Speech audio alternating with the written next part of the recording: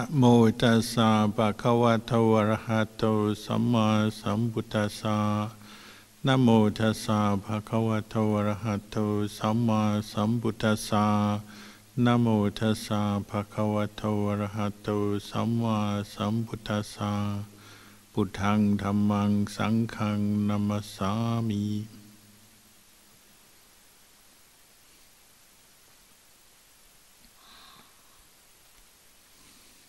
Blessings, good evening.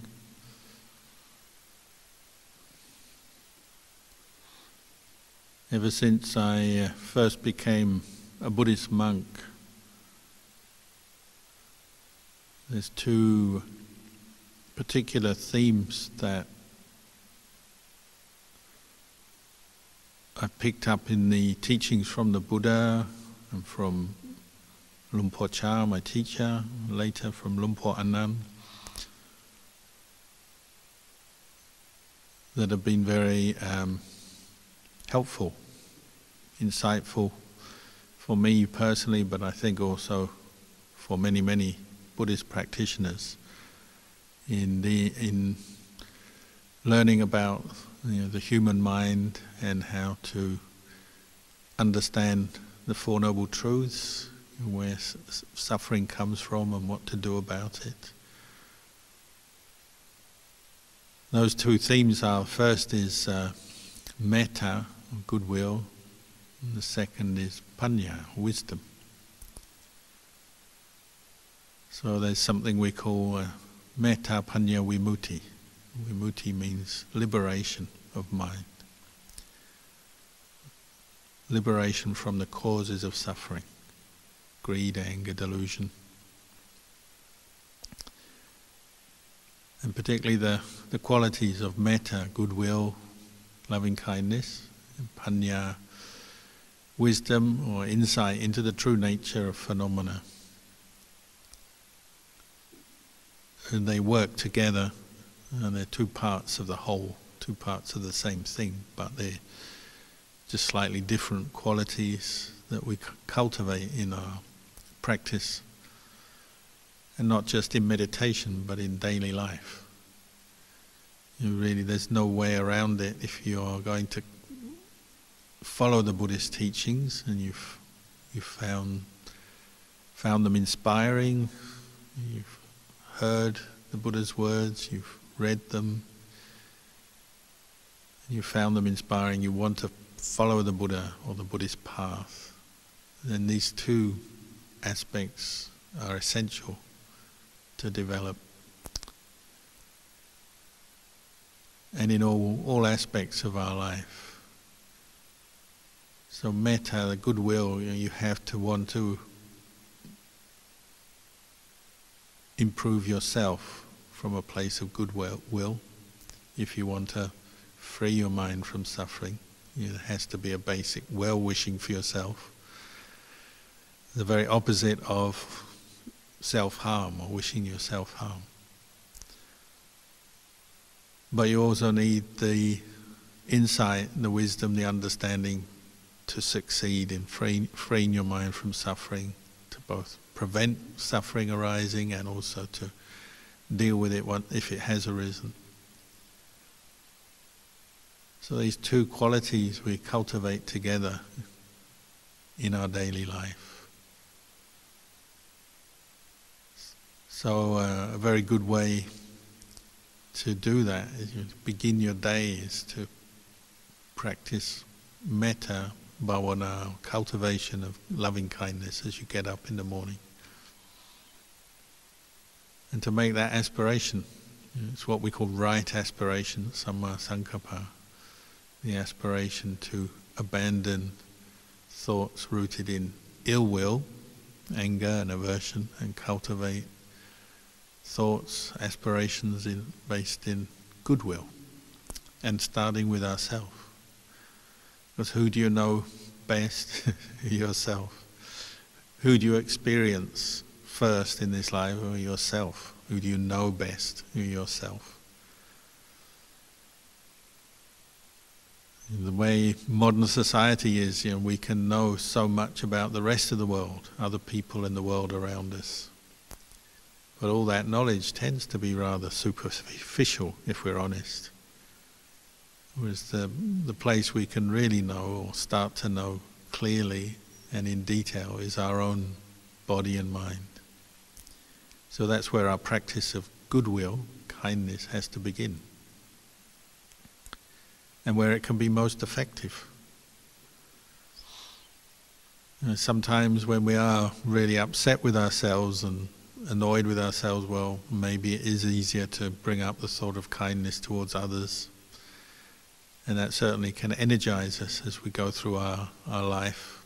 You know, sometimes we find it easier to arouse energy to help somebody else, and we often uh, and we like to put ourselves down or ignore ourselves or even criticize ourselves.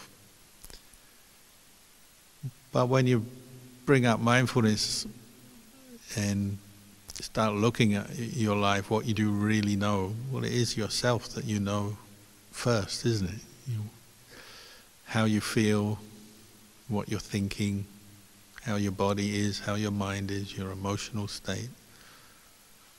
That's what you can really know well in this life. And that's where you can, where the practice of metta or developing the thought of goodwill can be really effective. Know, even if we do hear about other people suffering and we might have that thought to help others, how much can you really know about another person's suffering? You can maybe see the external symptoms if you know somebody who's stressed, unhappy, ill maybe. You can have a basic idea of their problem and what's going on in their mind and their body, but you don't really feel it, do you? You can only feel your own pain, your own suffering. The pain of others, you can only sense in a very basic way or guess at or assume that they're experiencing some suffering because you, they tell you or you see it but when it's yourself, you know it because you can feel it and you really can know it very closely from your own experience. So this is why the practice of metta, goodwill, and really the whole Buddhist path has to begin from within. That doesn't mean to say there's no place for helping others, of course there is. And sometimes helping others, we get to know ourselves a little bit better as well. But you know, if you're in pain, you are the one who feels that. If your mind is confused, you're the one experiencing that confusion, that aversion, that fear, the worry, whatever the experience of suffering, you're the one experiencing that. And others can only guess at it, maybe going on what you say. Then we also, because of our habit, often we have, because we have built up habits of self-aversion, and that's often the first thing you encounter when you practice goodwill directed to yourself. You often, you'll notice if you're meditating, developing the thought of kindness towards yourself, wishing yourself well, wishing yourself success, freedom from stress, there'll be another voice in the mind that says, no, I don't deserve this. Why me? I'm no good. Uh, it's very common. Um, and we have to get over that, that hurdle and recognize that if we can develop goodwill for ourselves, it will naturally flow on to other people. And our relations with others and our ability to help others will improve. So, in the end, as we practice, then they're not. It's not really. Um, it's not as if helping yourself or developing kindness towards yourself is um, somehow going to be to the disadvantage of others. It's not being selfish, and that's often the thought we have. Oh, if I, I just look after myself, develop goodwill for myself, you know, I'm going to be ignoring others or selfish towards others what, perhaps what you have to see is that it's liberating your mind from a lot of negativity when you cultivate the thought of metta. You know, metta, when it's in the mind, goodwill is in the mind, anger cannot exist at that point, at that moment. So you're naturally cleansing the mind of anger when you bring up goodwill for yourself. And if you're really to love others and help others, well, you also have to be able to do it for yourself. And much of the Buddhist teachings are based on this principle. You, know, you have to love others, you have to love yourself. To help others, you have to help yourself. To know others or understand others, you have to know and understand yourself. Why? Because we can. We can know ourselves. And we should know ourselves. Because we're in the best position to know ourselves. It'd be nice to if there were someone else around who really loves us and knows us like ourselves or better than ourselves. And sometimes it seems that, like with particularly with teachers, if you have a good teacher, often they seem to be a little smarter or wiser, more experienced than you. They may seem to know you better than yourself. But even then, all they can do is point you back to the truth, to the Dhamma. And they can't feel your suffering if you're experiencing suffering. You feel that. If you're ill, you feel that discomfort or the pain, the tiredness, whatever it, whatever the symptoms are. Someone else may know that you're ill, they recognize that, and they may sympathize with you, and they may do what they can to help you. But the feeling of pain you feel. And so that's why you should develop kindness for yourself on a regular basis, because that's the first place that it's needed in your life.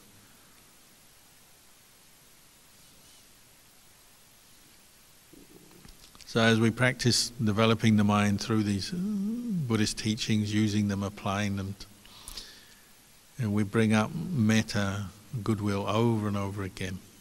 Just the idea is to get, to get it so it's just a normal way of cultivating the mind.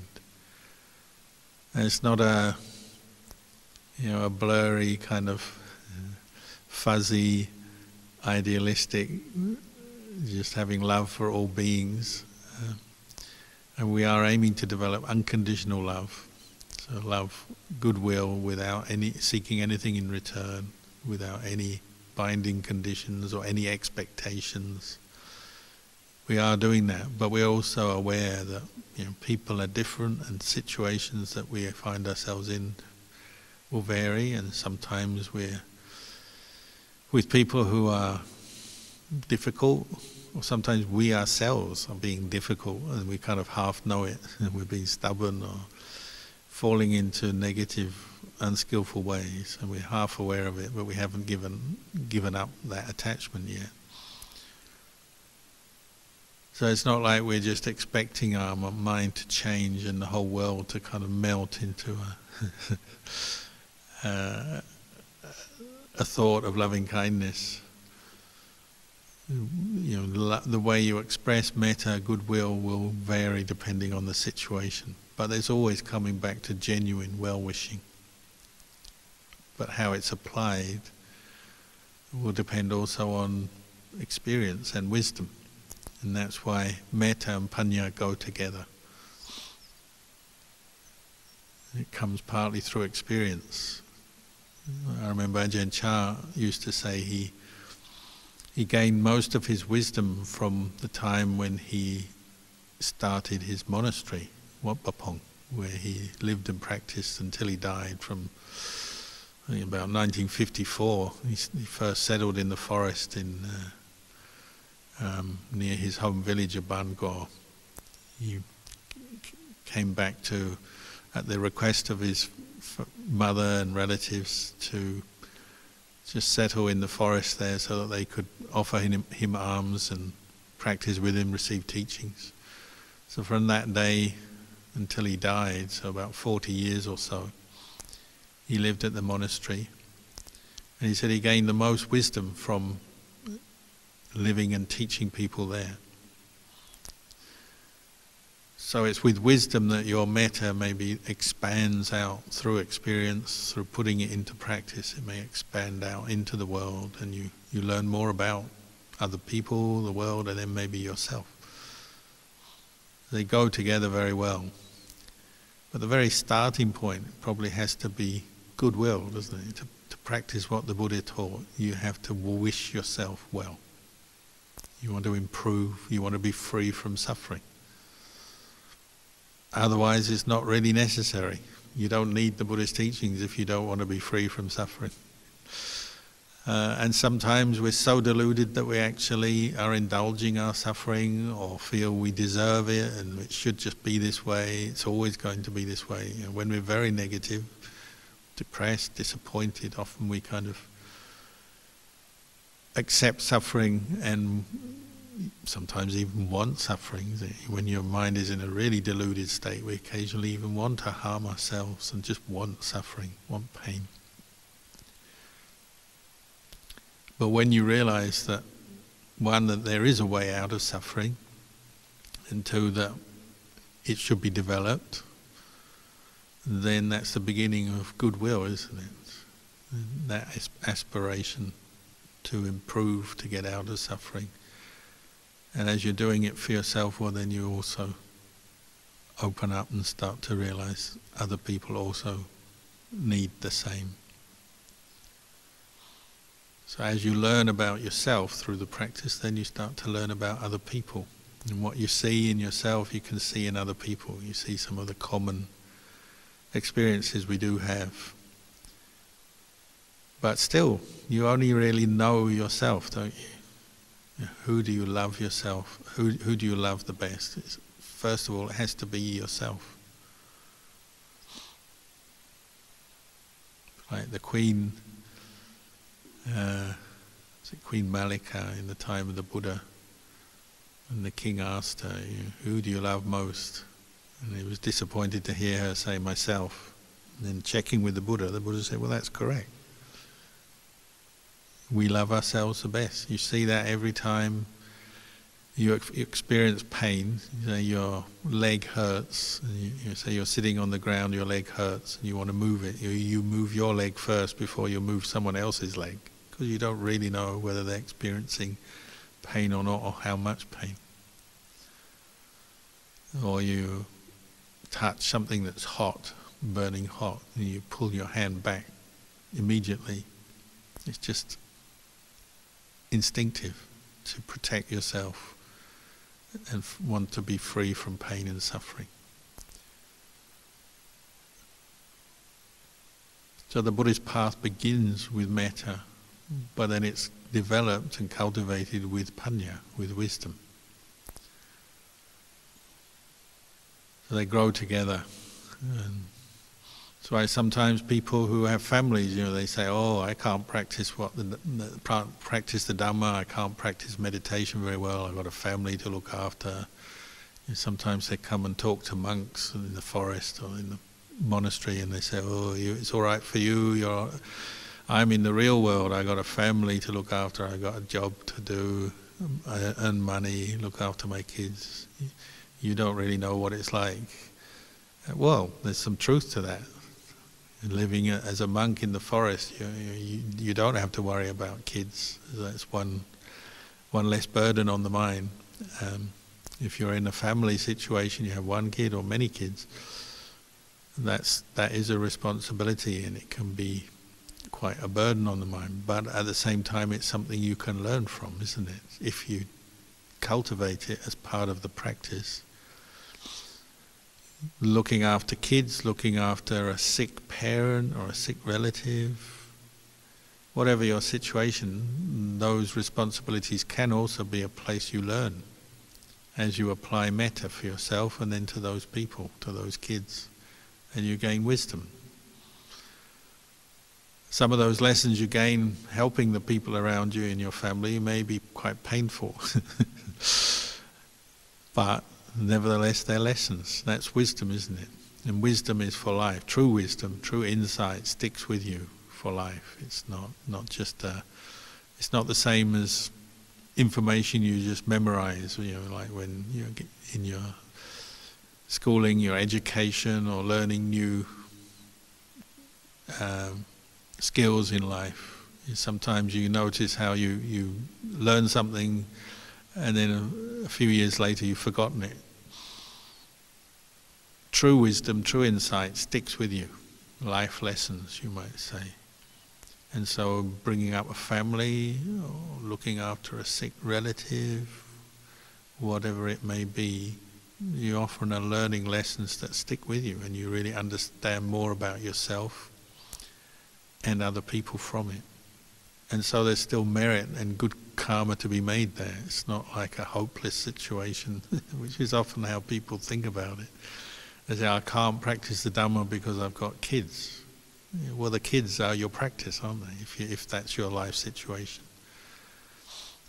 You can learn from looking after kids, taking responsibility for them, thinking what it is that you want to pass on to them, give to them. It's not just a material thing, is it? We've got knowledge and Dhamma to pass on to them. What kind of Dhamma are you passing on to them?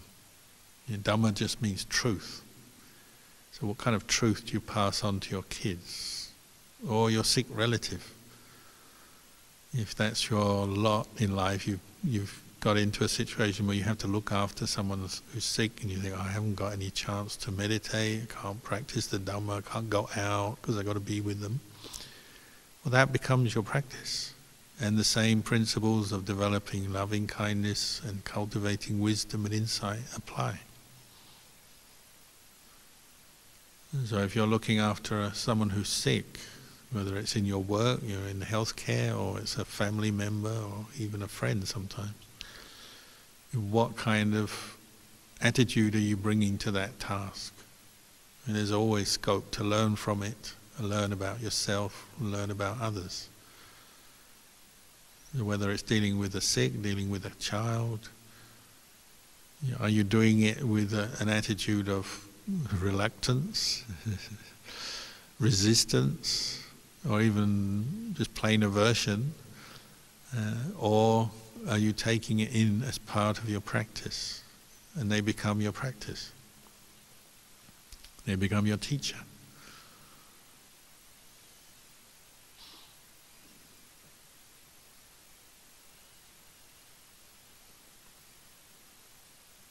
So these qualities of metta and panya, wisdom, understanding, they're universal qualities that really can be cultivated at all times, in all situations. They're not just for monks to develop in the forest or spiritual seekers when they're on retreat. Even in the ordinary life situation of running a family, looking after your relatives, earning a living, going to work.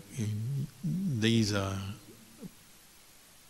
qualities that we are aiming to develop all the time. And wisdom you know, comes particularly from contemplating you know, the impermanence of life, the changing nature of body and mind and the world around us. And from that, seeing the dukkha of change. Things don't last so they can't bring us lasting happiness. So you may go to work and you have to accept this. The people I work with, they don't last forever. You know, they, they move on or they get older, they retire, one day they'll get sick, one day they'll die, they won't be there. Someone else will be doing that job. Whatever it is you're involved with in your job, you know, the buildings and the people and the different parts, aspects of that job will constantly be changing. And as you do that job, you get tired. And there's dukkha that comes from just expending physical mental energy doing a job. Just the same as looking after a family. It's, there's dukkha involved. It's tiring. Things change. People grow up. People won't be there forever. They won't be the same forever. Even from day to day, we change. Even from hour to hour, we're changing, aren't we? People's moods change, and sometimes you can't be quite sure what's coming next because of change, and then dukkha. And because of that, have, we have to say it's not self. Things go according to causes and conditions. And ultimately, we can't control them. We control things the best we can. We do whatever we can to improve the world and, and you know, make it convenient for ourselves, for others. But ultimately, you can't control things. So it's not self. This is the way we develop wisdom by bringing up those perceptions in daily life. You know, the Buddha said, perception of impermanence counters the delusion of permanence. You know, how often do we fool ourselves thinking something will last longer than it can, or will just last indefinitely? You know? How many times, who, who really, when they get a new job, do they really consider, oh, one day I won't be doing this job? You're not thinking like that, are you? You get a new job, you're thinking, I'm going to do this, and I want to get on and get a promotion and do this well and get, get, it, get into it. You're not thinking of impermanence much. Who's thinking, when you have a baby and you bring up your child, who's thinking, oh, one day this child, I'll separate from it?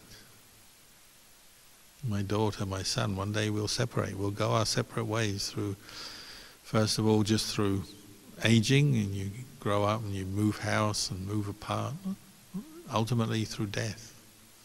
Who's really thinking of that? But this is wisdom.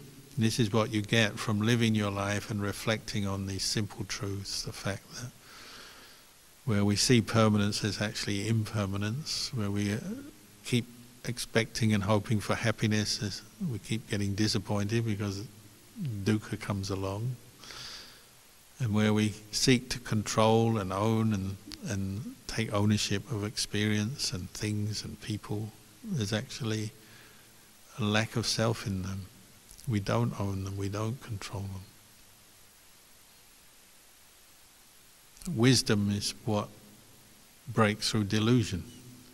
And delusion, just like we often are lacking metta as our starting point. We have a lot of pain and aversion and negativity in our minds, so we need to cultivate metta, goodwill. We have a lot of delusion, confusion, wrong thinking that we need to deal with by cultivating wisdom. Wisdom that sees impermanence, unsatisfactoriness, and the lack of self in experience. And it's not just these are not, not just perceptions you develop on the meditation mat, although you can do them very well there.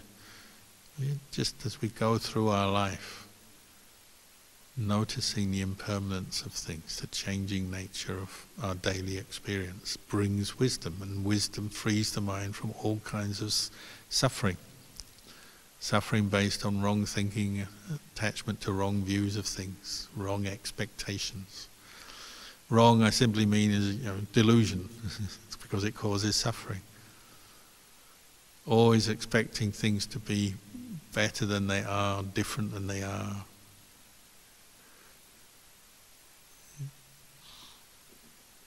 Our mind is very tricky, very deluding. So we need to develop wisdom. We need to contemplate things and reflect on things to counter that. There's no way around it. But it's liberating. You know? Wisdom liberates us from delusions. It matures the mind.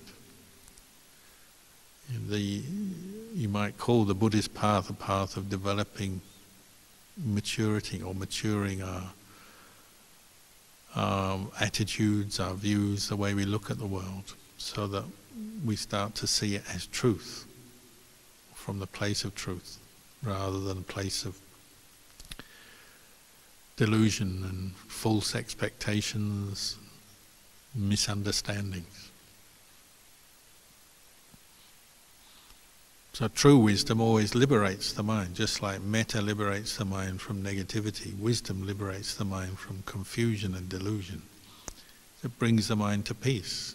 Sometimes that's just from listening and reflecting on Dhamma. Sometimes it's most effectively is when you actually apply your mind, the Dhamma that you've heard, you actually apply your mind to look for it and notice it and understand it from your own experience.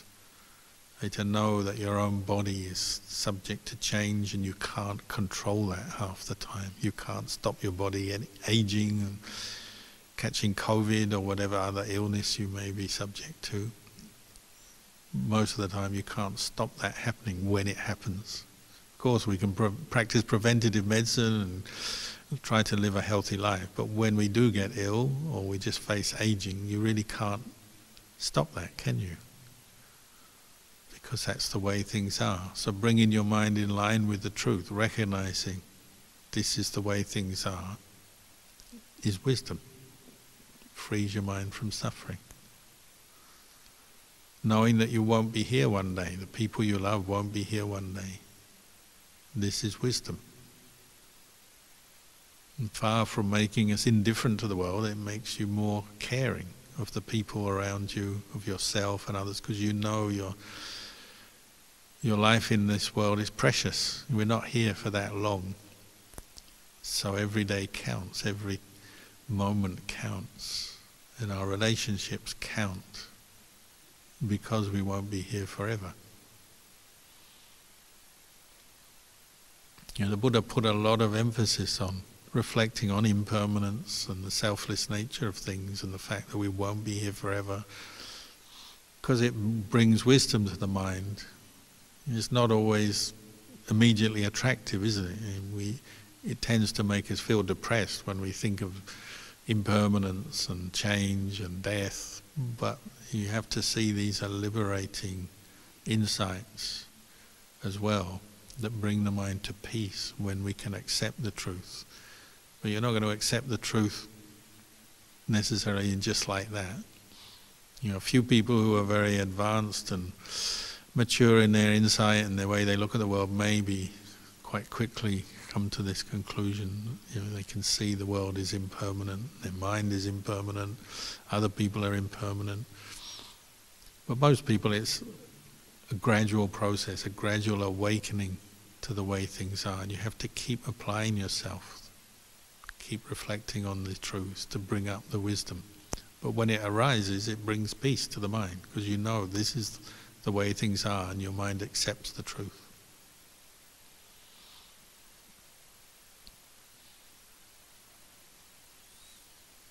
Sometimes our kids learn things quicker than us, or their mind is just a little clearer than us. So it's another way you learn, isn't it? If you do have a family, you, you have kids. Sometimes they they see the Dhamma much quicker than us because we're so we develop so many complicated attachments, and our wisdom sort of goes into the background, and we're just sort of stuck in the drive, the activities of life, and the drive of just working, doing things, looking after the household, looking after the kids that we forget ourselves. We forget the wisdom of the Buddha, we forget ourselves. And then sometimes our children remind us in the, the thick of it. And they say, oh, mom, dad, chill, let go, calm down, it's all right. Their, their wisdom is just as valid as ours, but often, you know, because we see them as children, we don't recognize it maybe, because we're stuck in our perception. Uh, I'm the parent, I know better. But sometimes they know better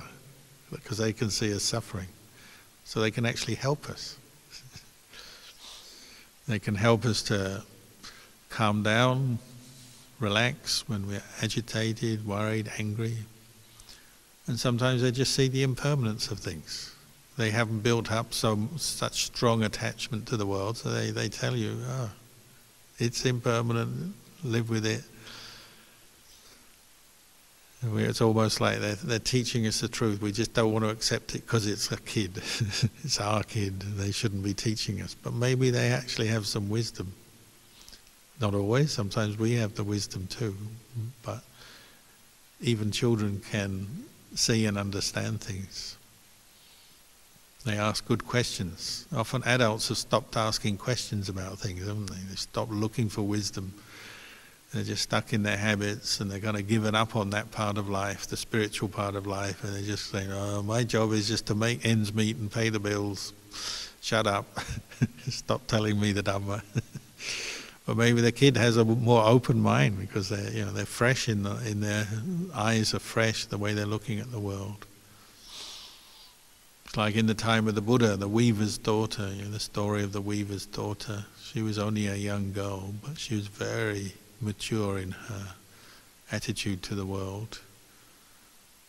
And that morning the Buddha, the Buddha was meditating in his normal way and he surveyed the world and he said, oh, this is the one person who's not so blind. They're open to the Dhamma today. The, the weaver's daughter, just a young girl. He said, surveyed the rest of the world. He said, oh, everyone else is just so blind. I can't see anyone who's ripe for the Dhamma. I can't, you know, there's no point in going out teaching anyone today. No one's ready for it. They're just blind. They're stuck in their own little world of making money and doing things and working and competing with each other. But he noticed the weaver's daughter's mind was very clear, open to the Dhamma. And he had previously given a talk in her town. I think it was the Alavi people, and he previously given a talk on the contemplation of death and impermanence and how we should develop that as a meditation. But only the weaver's daughter took it seriously, so she was already contemplating it. Nobody else took that teaching to heart. They all said, "Oh yeah, that makes sense," and then forgot about it. but she didn't. So she was the one with the wisdom going around reflecting on death, the impermanence of life, even though she was a young girl. And just so happens, you know, the Buddha went into town ready to teach her, but she didn't turn up because she was busy, because she was a good girl, loved her father, worked for her father. He'd, he'd given us, her an extra job, so she was late. She wanted to hear the Dhamma, hear the Buddha, but she was late because she had to go on an errand for her father first. But the Buddha was patient. He had no more attachments and doubts and anger and impatience. You know, he knew how to wait because he's a Buddha, he's enlightened. So he just sat there waiting. Eventually the girl turned up. And he was, she was the one he wanted to teach that day. So he gave her a teaching. I mean, other people could listen, but he knew she'd be the one who'd get something from it. So he just asked her those four questions. Where did you come from? She answered, Don't know. Where are you going to? Don't know. Do you know? I don't know. Do you not know? I do know. all very mysterious, and all the supposedly mature adults in the village who were sitting listening got annoyed with the young girl, thought that she was just mucking around with the Buddha. But he, he trusted her. He was looking at the girl as they come forward. So then he further questioned her. You, you said, I asked you where you come from. You say you don't know. Why do you answer like that? She said, Well, I don't know because I don't know where I came from before I was born.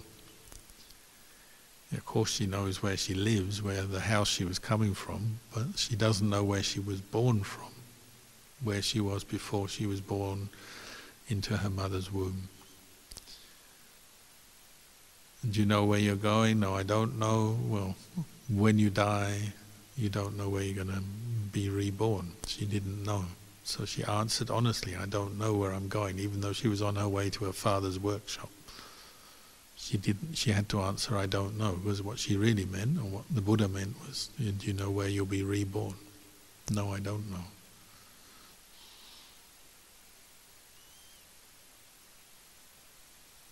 Do you know? Or, well, no, the first question was, do you not know? I know.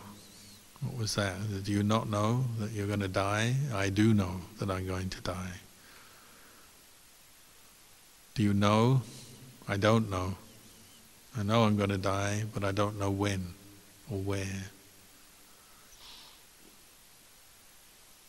So the Buddha was doing a guided meditation on impermanence, on on death, contemplation of death, knowing that she will die, but not knowing when, but knowing for sure she must die. Not knowing where she came from last life, not knowing where she'll be reborn, but knowing she'll die.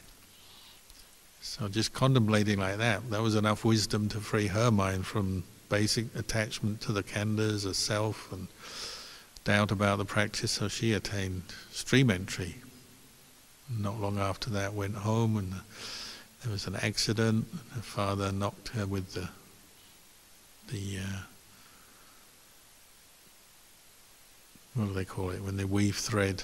Uh, the machine, the wooden machine that they use for weaving, uh, knocked her dead by mistake. So she died, a stream enterer, reborn in heaven. But such a pertinent story to our, our daily life, whether in a monastery or in the, out in the world, looking after our family, going to work. the one thing you know is you're going to die. It's the one thing you do know in life. You don't know when, when, that you can't be sure. It could be today, it could be in a 10, 20, 30 years' time.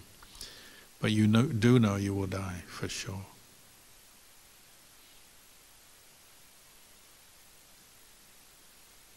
Some, such simple, direct truth is enough to cut through the delusions of mind, isn't it? When it's coming with a, from a place of metta, goodwill, your, your aim is to liberate your mind from delusions, so the delusion of seeing things that are impermanent, uh, or seeing things that are permanent, seeing things that are impermanent, seeing them as impermanent. That's one delusion. Seeing things that are dukkha, but seeing them as sukha, happiness, is another. Seeing things that are not self as self is another. learning to reflect like this just on the impermanent nature of this world, the certainty of death, the uncertainty of life, changes your attitudes, it sobers you up, matures you. Even children can sometimes have this insight, and they just know intuitively that's the way it is. Things don't last, things change. It's hard for kids, but it's possible. Or at least sometimes they have that insight, even when we don't. So don't underestimate the wisdom of children. Sometimes they, they see things before us, and they see the value of metta. Maybe they can forgive someone we haven't yet forgiven. Because they don't want to live, you know, especially when they're young, they don't want to live with a mind of anger, hatred. So often they they're willing to let go of the hatred and the anger quicker. It's like that story when I was growing up, and there was a, a bombing in the UK. It's the Irish, I think it was the IRA bombed uh, block of apartments. I think it was in Manchester. And the young girl very young girl, only five years old, seven years old. She was caught under the rubble. Her, her house, her home was destroyed, but she didn't die. But she was caught under the rubble and they had to dig her out. And they were racing against time and they couldn't get her out in time, the whole body, but they, they made a hole so she could talk to her dad who was there, obviously very distraught. And he was he put his he could get his hand through to her, but she was dying. So he held her hand and talked to her as she was dying. And her last words were, "I love you, Daddy." And she just kept saying she loves her daddy. And then she died. Very sad circumstances, but they asked the father afterwards, you know, do you hate the people who killed her? He said, well, it's hard to have hatred in your heart when your daughter has just given you love and taught you love.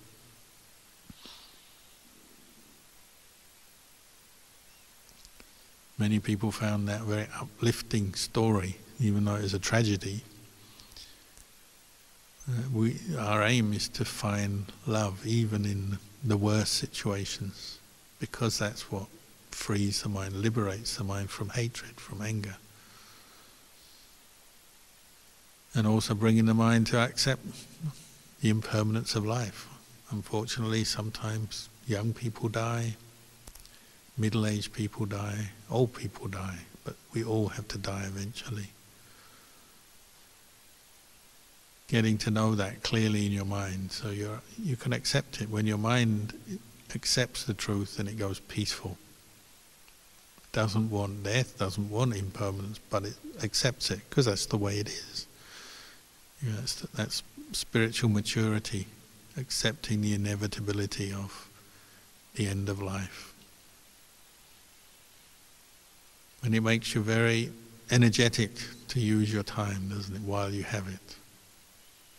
Spurs you on to practice more because you know you don't have much time. You need that on these cold mornings in, if you're in Melbourne. Remind yourself, maybe this is the last day of your life. Get up. Don't waste your time sleeping. Don't waste your, waste your time brooding, self-aversion, aversion for others. Don't waste your time with that. Your, your life is better than that. Work at it to let go of the negativity. Work at it to bring up the energy.